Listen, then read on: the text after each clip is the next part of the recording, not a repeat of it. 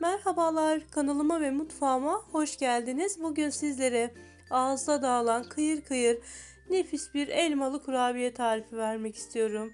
Gerçekten tadıyla, görüntüsüyle şahane oluyor. E, mutlaka denemelisiniz diyorum. E, malzemelerim hazır. E, hepsini açıklama kısmına ekleyeceğim. Oradan bakabilirsiniz. Öncelikle e, kurabiyemizin e, iç harcını yapmakla başlayalım. Daha sonra hamurumuzu yoğuracağız.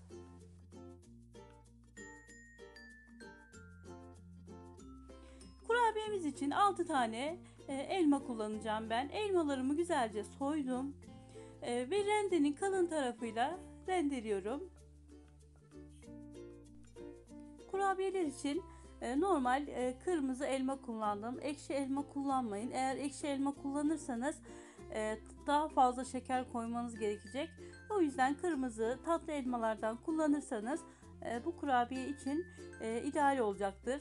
E, sarı elmalardan da kullanabilirsiniz tatlı olanlardan. Evet e, elmaların bitene kadar rendeleyeceğim. Daha sonra kavurma işlemine geçeceğiz. E, tavamıza e, rendelediğim elmaları aldım. Üzerine e, bir çay bardağı şeker ilave edeceğim. E, daha az şeker de ilave edebilirsiniz. Tamamen damak zevkinize kalmış. E, ben 6 tane e, elma olduğu için, elmalarım da biraz büyük olduğu için bir çay bardağı şeker ilave ettim. Dediğim gibi şeker ölçüsünü azaltıp çoğaltabilirsiniz. Tamamen size kalmış. E, elmalarımı suyunu bırakana kadar e, güzelce kavurmaya devam edeceğim. Tamamen suyunu çekmesi gerekiyor. Sulu kalmasın. Evet sürekli karıştırarak elmamızı güzelce kavuralım. Gördüğünüz gibi suyunu bırakmaya başladı. Bu şekilde suyunu çekene kadar e, ara ara karıştırarak kavurmaya devam ediyoruz. Evet elmam suyunu çekti. Şimdi üzerine e, bir su bardağından birazcık az e, iri kıyılmış ceviz ilave ettim. Bir tatlı kaşığı da tarçın ekledim. E, ve güzelce karıştırıyorum. Tüm e, ceviz ve tarçın, e, elma karışımı güzelce karışana kadar.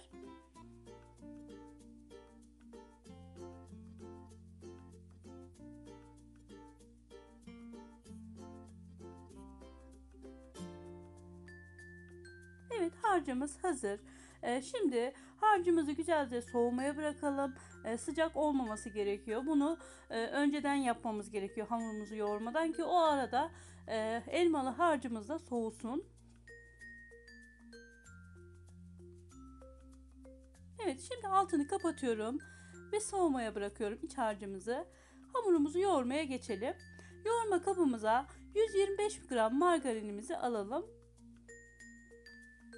Üzerine 2 tane yumurta ekleyeceğiz. Yumurtamızı da ekleyelim. 1 çay bardağı sıvı yağımız var. Onu da koyuyoruz.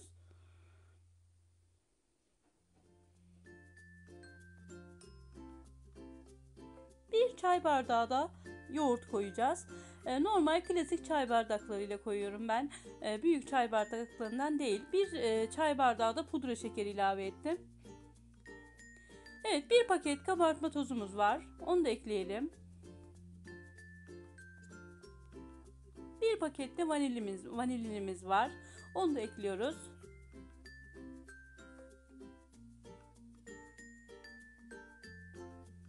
Elimizde güzelce e, karıştıralım. Homojen bir kıvam alana kadar karıştıralım.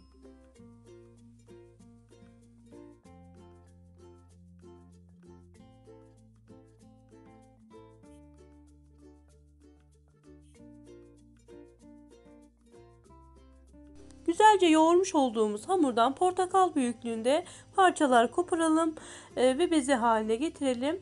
E, yağlı kağıdın üzerine bezemizi alalım. Üzerine bir yağlı kağıt daha kapatalım. E, elimizde hafif bastırıp merdane yardımıyla e, hamurumuzu açalım. Çok kalın olmasın, çok ince de olmasın. Yemek tabağı büyüklüğünde açmanız yeterli olacaktır.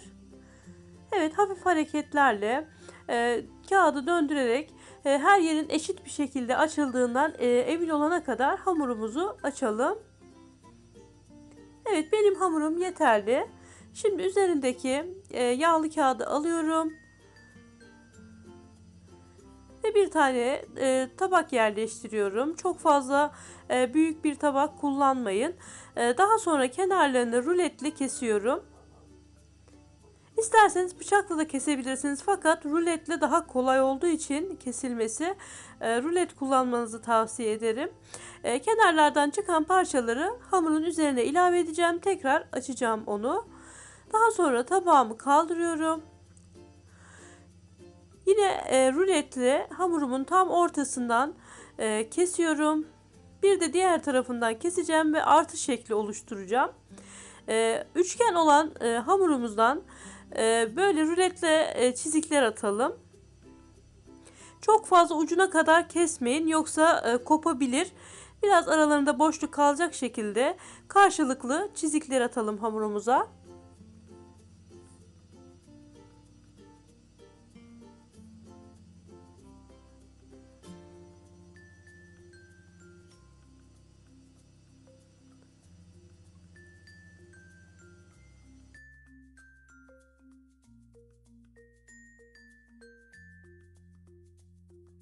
Kesmiş olduğumuz üçgen e, kurabiye hamurlarımızın tam ortasına gelecek şekilde iç harcımızı yerleştirelim.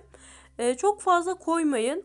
E, iki ucunu birleştireceğimiz için e, hem dışarı taşabilir hem de kapatırken zorlanabilirsiniz. O yüzden e, bu kadar koymanız yeterli olacaktır. Evet daha sonra e, karşılıklı iki ucunu e, birleştirelim e, ve hafif uçlarına bastıralım ki pişerken açılma yapmasın. E, bu kestiğimiz ara katlar e, piştiği zaman hafif kabarıyor ve çok güzel bir görüntüsü oluyor gerçekten. Ben bu kurabiyenin e, görüntüsünü çok seviyorum. E, keza tadı da öyle. E, çok güzel oluyor. Kıyır kıyır nefis bir kurabiye oluyor. Uzun sürede bayatlamıyor. Yine aynı şekilde kalan hamurlarımı da açmaya devam ediyorum. Evet bunu keserken e, tabak koymayı unutmuşum. E, direkt ruletle kesiyorum. E, fakat siz e, küçük bir tatlı tabağa yerleştirip e, keserseniz e, hem kurabiyeleriniz biraz daha küçük olur e, hem de e, daha yuvarlak olur kenarları.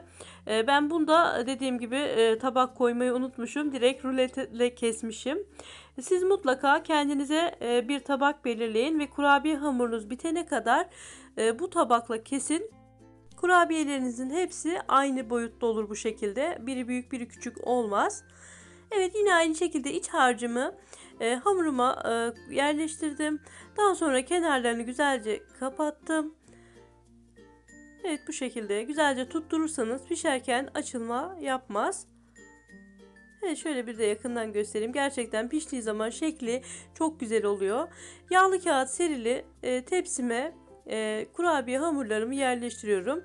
Daha sonra önceden ısıtılmış 180 derecelik fırında e, kurabiyelerimin altı üstü e, hafif pembeleşinceye kadar pişiriyorum. Gördüğünüz gibi altı da çok güzel kızarmış. Üzeri de hafif e, pembeleşmiş, kıyır kıyır nefis bir kurabiye olmuş gerçekten. Evet üzerine e, bolca pudra şekeri serpelim fakat pudra şekerini sıcakken serpmeyin. Benim kurabiyelerim soğudu.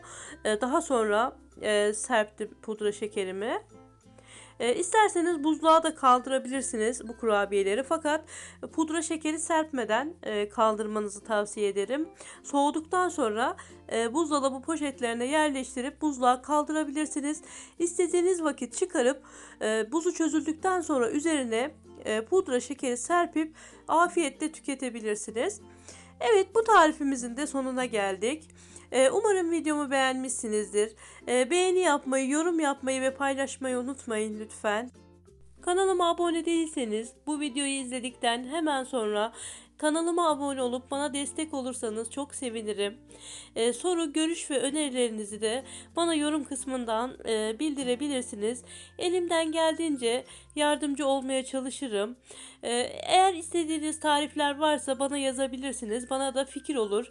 Ee, ben de sizlere e, sizin isteğiniz doğrultusunda e, videolar çekmeye çalışırım. E, evet her gün farklı tariflerde görüşmek üzere. E, Hoşçakalın. Allah'a emanet olun.